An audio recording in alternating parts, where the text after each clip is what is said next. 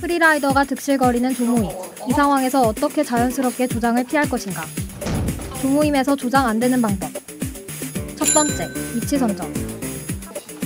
안녕하세요. 저 사람이다.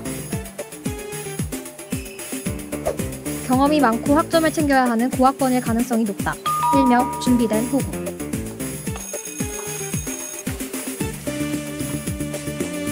밑이 어두운 법. 누구보다 빠르게 옆자리를 차지한다.